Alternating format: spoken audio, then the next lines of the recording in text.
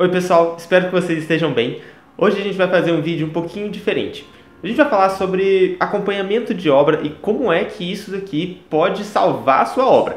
Então, vamos lá? Mas antes de eu continuar, já deixa o seu like aqui, porque isso é muito importante para o YouTube entender que vocês gostam desse conteúdo e ele vai entender também que ele pode entregar esse conteúdo para outras pessoas. Então, isso ajuda muito a comunidade e a gente, tá certo? Então, agora vamos pro vídeo. Muita gente chega no nosso escritório sem saber quase nada sobre obra, né? Sobre como funciona o projeto de arquitetura, sobre como é que vai ser esse processo. E quando chega na parte da obra, todos eles perguntam: tá, mas vocês fazem acompanhamento de obra? Vocês executam a obra? E o que a gente faz aqui são projetos. Nós somos especialistas em projetos. Então a gente deixa a parte da execução, da gerência, para quem realmente sabe que são os nossos parceiros. E aí, a nossa parte durante a obra é de fato acompanhar a obra, tá? Isso daí traz diversos benefícios para vocês. E eu vou explicar um pouquinho sobre cada um deles e como que a gente faz. Então, em linhas gerais, quando a gente está fazendo o acompanhamento de obra, a gente tem alguns objetivos. O primeiro é economizar tempo. O segundo, dinheiro. Tempo é dinheiro na obra, principalmente porque um dia de atraso na obra por qualquer decisão errada, por qualquer erro, que tem que ser corrigido pode representar mil reais só de mão de obra, fora todos os outros gastos indiretos. Bom, além desses dois fatores, a gente está aqui para acelerar e melhorar algumas decisões que a gente vai ter que tomar durante a obra.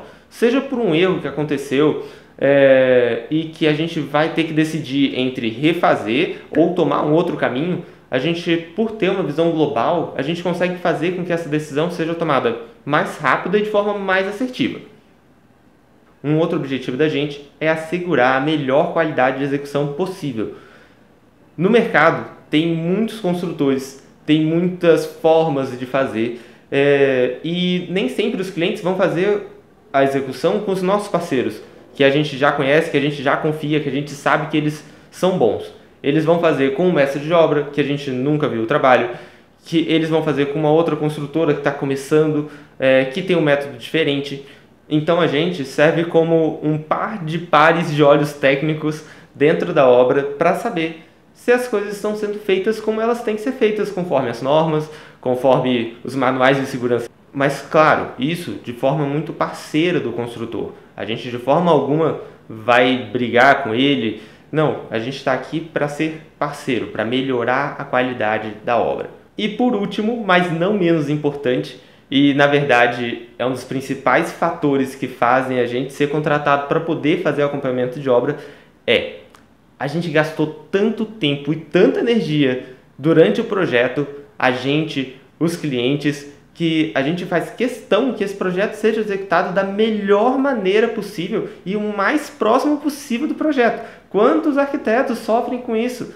Porque o projeto chega na obra e é completamente desvirtuado, digamos assim né, é, por causa de uma falta de, de, de compreensão do projeto pelo construtor, é, ou erro, ou simplesmente porque surgem dúvidas. Quando as paredes começam a ser levantadas, é, é muito comum surgir nos clientes, em vocês, uma ansiedade muito grande de será que é isso mesmo que eu quero? Porque antes era projeto, era papel, eram imagens na tela do computador, era relativamente barato. Agora as coisas começam a realmente ficar sérias, tá bem? Então a gente está aqui para auxiliar nisso. Ok, objetivos postos, mas como é que a gente faz isso? Bom, a coisa mais importante disso são as nossas visitas às obras. A gente vai na obra, dependendo da etapa da obra, uma vez por semana, uma vez a cada duas semanas. Quando a obra tem muita gente trabalhando dentro dela, ou quando ela está andando numa fase que tem muitas empreitas ao mesmo tempo, normalmente aquelas fases finais de acabamento ali, onde você tem o marmoreiro, o pedreiro assentando o piso, o rapaz fazendo o gesso, o eletricista fazendo as ligações elétricas. Depende um pouco da etapa da obra, mas a gente está sempre presente na obra para um, verificar se as coisas estão sendo feitas direito. Bom, e aí acompanhar todos aqueles objetivos que eu coloquei ali na introdução. Isso cria uma ligação muito boa entre a gente e o construtor, o que permite tirar dúvidas rápidas de uma forma mais eficiente dele em relação ao projeto, é, alguma coisa que ele não tem entendido. Afinal de contas, um projeto de uma casa tem 40, 50 pranchas. Então, tem muitos detalhes que a gente precisa mostrar para ele. Ó, é, é assim que é para fazer, não é daquele outro jeito. E para isso daí é muito importante que a gente esteja junto. Bom, além disso, a gente foca muito no trabalho de mitigação de erro, não de correção de erro. Afinal de contas, 80% deles, quando acontecem, é, são muito difíceis, muito caros de serem corrigidos.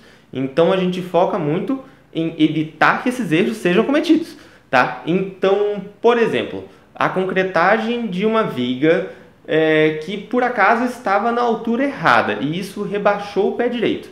Depois que ela está concretada, não tem jeito. Ela vai continuar ali, queira você ou não, a menos que a gente gaste milhares de reais para demolir ela e refazer no lugar certo. Então a gente está ali para acompanhar, saber se as vigas estão sendo feitas no, no, na altura correta, por exemplo, como aconteceu semana passada numa obra. A gente viu isso bem antes delas serem feitas, conversou com o calculista e a gente está alterando um pouco o projeto estrutural para poder levar ela e manter o pé direito que a gente tinha proposto no projeto de arquitetura. Uma outra forma que a gente tem de alcançar aqueles objetivos é estar muito presente dos clientes durante a obra. Por quê? Não é porque a gente fez aquele projeto gigantesco com um monte de especificação que os gostos daquelas pessoas vão continuar ao longo desses dois anos que leva para se construir uma casa, pegando toda a parte de projeto, é, obtenção do alvará de construção, depois execução propriamente dita. Então é muito comum que ao longo desses 18 meses a pessoa já não queira mais um piso que a gente escolheu, né? que a gente a gente e cliente. E aí a gente está junto para poder falar assim, não, ok, não quer mais esse piso, vamos escolher outro, vamos sentar aqui, vamos conversar de novo, vamos ver o que, que o projeto permite que a gente coloque, tá? Então, por exemplo, de novo, mês passado, um projeto de 2020 está na fase de compra dos revestimentos. O exemplo era exatamente esse: era um piso amadeirado. A cliente falou: Poxa, eu acho que o piso amadeirado vai me dar muito trabalho de manutenção. Vamos trocar por um piso grandão, 1,20 por 1,20 branco? A gente falou, beleza, vamos. Então vamos fazer os estudos de novo. Vamos ver como é que isso vai ficar na sala. Afinal de contas, não é um lavabo, não é um banheiro, é a casa inteira que seria desse jeito. Então a gente está junto com vocês para tirar as dúvidas, para tirar aquela ansiedade que tem durante a execução. Uma outra coisa que a gente faz é manter o cronograma da obra atualizado com o cliente. Por quê? Dependendo do estilo de execução, né, que desde que não seja uma empreita global, quando o cliente vai só passar o cartão e o construtor vai entregar a casa pronta na chave como se fosse um carro para ele, às vezes os clientes vão precisar fazer algumas compras. Né? É, pisos, metais, luminárias. Geralmente esses materiais de acabamento ficam por conta dos clientes. Então, a gente mantendo eles atualizados, a gente consegue fazer com que essas compras, com que essas escolhas sejam feitas na melhor época possível da obra. Porque os dois extremos são ruins. Se atrasa a compra de algum material, a gente vai atrás da execução da obra. E isso gera custos porque a mão de obra vai ficar parada e ela vai ter que receber de qualquer jeito. E se ele compra muito antes, esses materiais vão ficar na obra, pegando sol, chuvas, se estragando. Então isso também é muito ruim, mesmo porque atrapalha o andamento da obra com aquele bando de material estocado no meio da obra, né? Inclusive, falando nisso, deixa eu fazer o um merchan aqui. A gente produziu um e-book bem organizado, bem didático, para qualquer um entender como é que são as etapas da obra e o que que em cada etapa você precisa começar a comprar. Tá? Isso é fundamental para você não atrasar a sua obra por qualquer motivo que seja. A gente vai deixar o link dele aqui na descrição, tá bom? Então acessa lá e a gente espera vocês. Uma outra vantagem da gente fazer o acompanhamento de obra é que, desculpa o trocadilho, mas casa a casa é uma casa. Então, as informações às vezes mudam de um projeto para o outro, a forma que a gente representa também muda. E a gente estando junto, a gente consegue mostrar para o construtor: ó, isso daqui, essa escada diferente que a gente fez, essa escada Santos Dumont que a gente fez aqui, o detalhamento dela tá lá na prancha tal. Aquela sanca diferentona que a gente projetou para o forro tá lá naquela prancha tal. Além disso, claro que se ele pegar e der uma boa estudada no projeto, ele consegue encontrar as coisas. Mas, às vezes, ele pode falar assim: Poxa, isso vai dar muito trabalho, isso vai ficar muito caro para o cliente. Seja porque o material aumentou muito, seja porque a gente não tem uma mão de obra tão boa ou tão especializada naquela região para poder fazer isso. Ele vai ter que deslocar funcionário de outra região. Então, a gente estando junto, a gente consegue solucionar, trazer novos jeitos de, de fazer para deixar o projeto mais próximo possível daquilo que a gente projetou, mas sem custos desnecessários para executar exatamente aquilo que a gente executou dois anos atrás. Entende? Que pode ser um cenário completamente diferente. Bem, então, de forma geral, todo arquiteto que vai fazer o acompanhamento de obra vai fazer todas essas coisas, tá? Aqui a gente ainda faz um trabalho a mais, que é quando o cliente fala, ah, não, eu queria alterar, por exemplo, aquela questão dos pisos, a gente já embute no pacote pequenas alterações no projeto, pequenas correções de especificações, né? Se precisar, a gente volta e refaz algumas imagens, algumas, tá? Não é o projeto inteiro, não é refazer o projeto. São é um jeito rápido da gente solucionar alguns problemas e encontrar soluções mais rápidas, tá bom? Dentro de um, dois, três dias,